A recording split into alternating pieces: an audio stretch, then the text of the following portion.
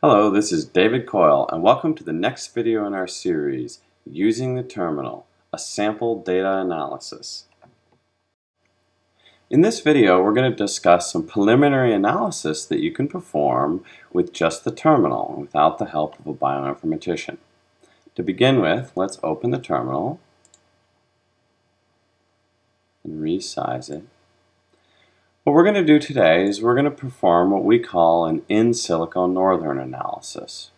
So as you may recall, the data for these two plant crosses was generated from RNA that was made into cDNA that was then sequenced.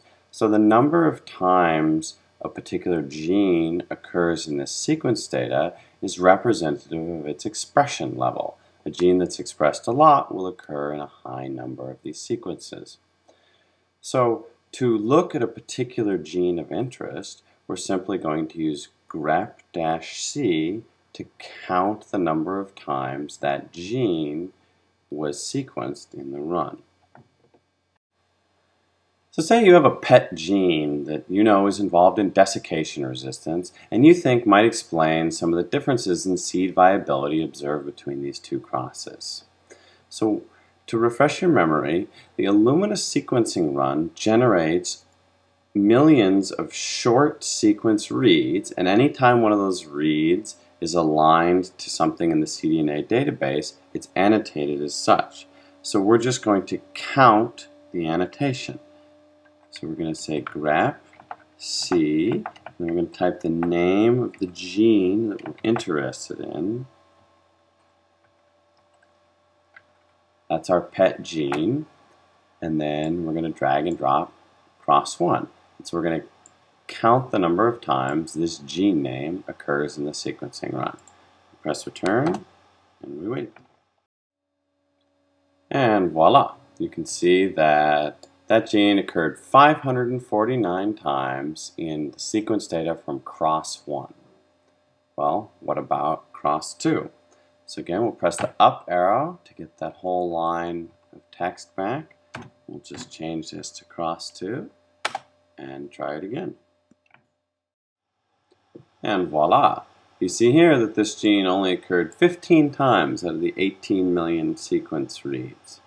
So this is intriguing, but there's a couple other things you would need to do to verify this data. Uh, one would be to have biological replicates of this experiment. That's a discussion for another time. Um, another would be to normalize these to the number of sequence reads within each sequence. So there's a lot more of this gene in this sequence run, but if there were 10 times as many sequences in total here as here, that would skew the data. And we're not going to do that, but just to show you how you would do that is you would do a grep-c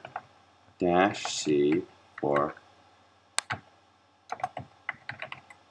Illumina because the word Illumina occurs in every line of the sequence. So this would tell you how many sequence reads there were in each cross, and then you could normalize this data to that information for each cross.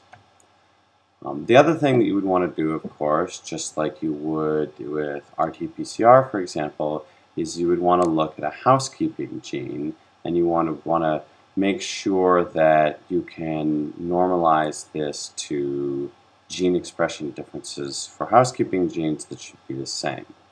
So we'll just take a look here at one housekeeping gene just as an example. Okay, and our example housekeeping gene here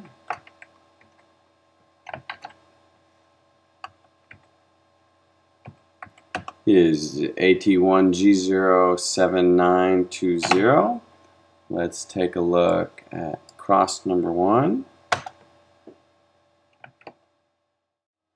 Alright, you can see here that this is a much more highly expressed gene. And now we'll take a look at cross number two. And it looks pretty comparable. So that's all the analysis we're going to do today, but this is just to show you how you can use the terminal to begin to answer some preliminary questions. you can ask gene-specific questions. You know, how often did this gene occur in one sequencing run relative to another? You can look at housekeeping genes, etc.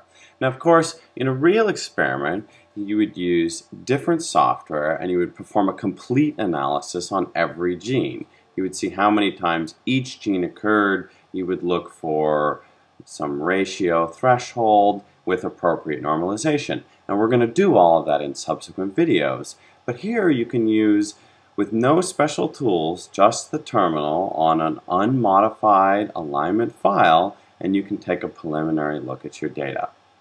Thanks for watching, and we'll see you in the next video.